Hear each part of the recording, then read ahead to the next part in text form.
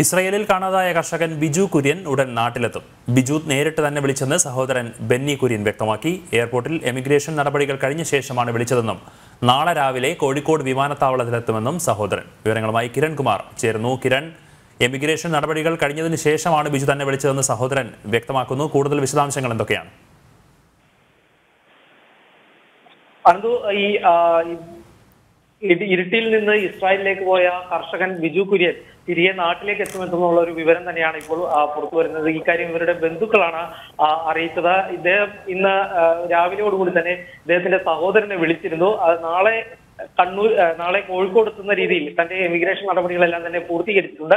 അതിനുശേഷം നാളെ കോഴിക്കോട് വിമാനത്താവളത്തിൽ വന്നെത്തും എന്നുള്ള ഒരു കാര്യം തന്നെയാണ് ഇപ്പോൾ ഏതായാലും ബിജു കുര്യൻ വ്യക്തമാക്കിയിരിക്കുന്നത്. നേരത്തെ കൃഷി വകുപ്പിന്റെ സംഘത്തിന്റെ കൂടെ പോയതായിരുന്നു ഇദ്ദേഹം ഈ ഇസ്രായേലിലേക്ക്. പിന്നീട് ഇസ്രായേലിൽ വെച്ച് ഇദ്ദേഹത്തെ കാണാതാകുകയായിരുന്നു ഇദ്ദേഹം തന്നെയാണ് ഇക്കാര്യം ആദ്യം വീട്ടുകാരെ വിളിച്ചറിയിച്ചത്. തന്നെ കുറിച്ച് അന്വേഷിക്കേണ്ട താൻ ഇവിടെ ഉണ്ട് സുരക്ഷിതനാണ് എന്ന തരത്തിലുള്ള കാര്യങ്ങൾ അറിയിച്ചിരുന്നു. അതിനുശേഷം ഇദ്ദേഹത്തെ തിരികെ നാട്ടിലെത്തിക്കുന്നതിന് വേണ്ടിയുള്ള നടപടികളും ആരംഭിച്ചിരുന്നതാണ്.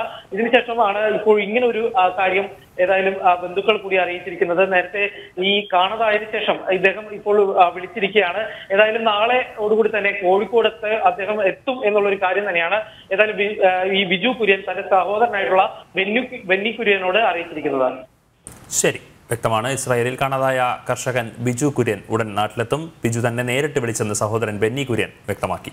എയർപോർട്ടിലെ ഇമിഗ്രേഷൻ നടപടികൾ കഴിഞ്ഞ ശേഷമാണ് വിളിച്ചതെന്നും നാളെ രാവിലെ കോഴിക്കോട് വിമാനത്താവളത്തിലെത്തുമെന്നും സഹോദരൻ പറഞ്ഞു. കിരൺകുമാറാണ് വിവരങ്ങൾ നൽകിയത്.